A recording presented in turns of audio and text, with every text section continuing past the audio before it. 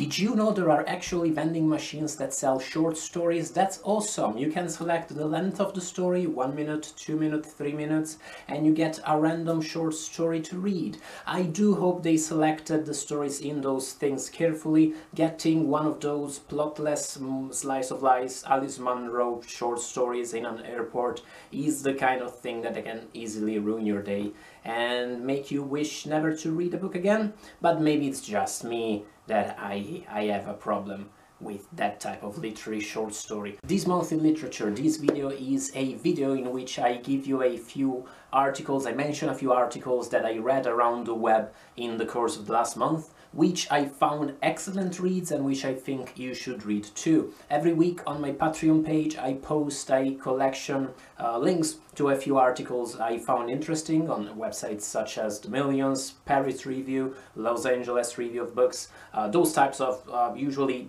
uh, halfway between features and essays and think pieces. Uh, this week the must-read article I'm going to mention is a piece by Kevin Power, which I already mentioned in my recent review of Mao II by Don DeLillo. Power's article discusses the idea of DeLillo as the king of sentences, as this writer who writes in such a beautiful and brilliant prose and whose sentences are instantly memorable so that everyone remembers those beautiful passages from White Noise or Underworld.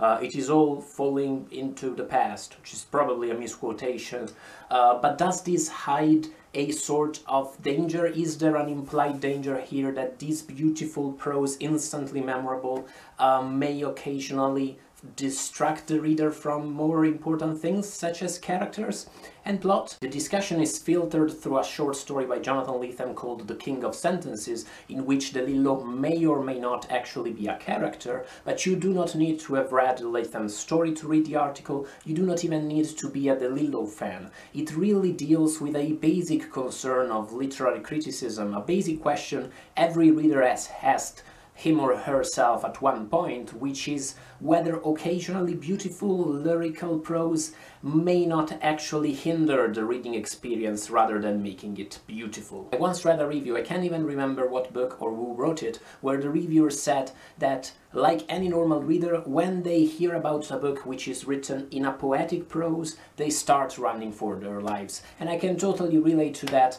I do, uh, I do find occasionally hard to stomach prose that is too lyrical, uh, whereas at times it, it's not always the case. It's not usually the case with DeLillo uh, with me. I usually find uh, stuff in DeLillo's novels, be it about the plot, be it about the book's reflections, that keep me reading and keep me interested. But anyway, read Power's article.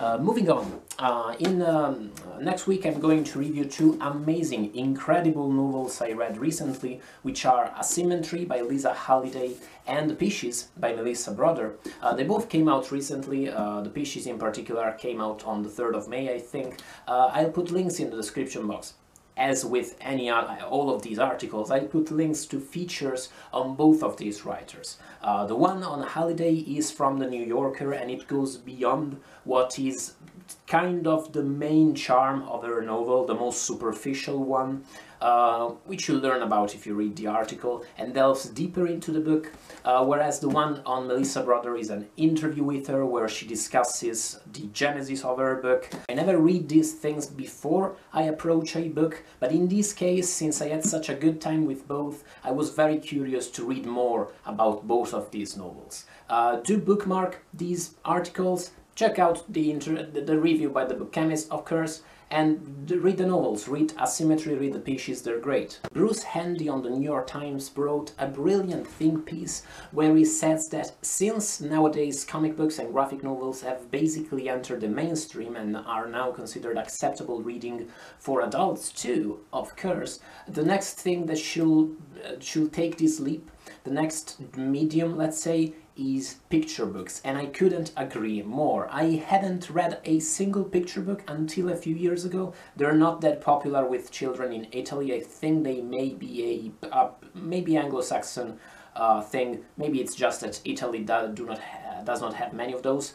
But still, I, I discovered them recently and love them. The picture books are such a complex medium. The balance of word and illustrations is so subtle. You find a, ma a mastery there that is comparable to poetry's and some of the artists writing them are awesome. This amazing thing is Journey by Aaron Becker which is just incredible. I, can, I could read this thing all day uh, and it fires up your imagination in such beautiful ways but it's such a wide world that it, it's I mean recommending a, a, single picture book is a bit like recommending a single book to someone who has never read literature you know it's so vast do uh, read the article by Bruce Handy uh, and do do know that there's such an amazing source of entertainment out there that you may not have tapped into yet. The next piece is an article I was kinda hesitant whether to discuss or not, whether to mention or not, for the very simple reason that it doesn't really touch upon literature that it, it does it talks about literature but it talks about things that are so much more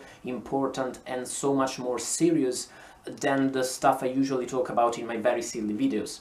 Junot Diaz uh, recently wrote in the New Yorker very uh, an article that was much discussed in the month in the course of the month where he talks about his experiences with abuse as a child in the Dominican Republic. Junot Diaz is the author of The Brief Wondrous Life of Oscar Wao, uh, which I mention all the time in my videos because I think it is one of the best books I've ever, re ever read. Yes, um, it's among my very, very favorite books.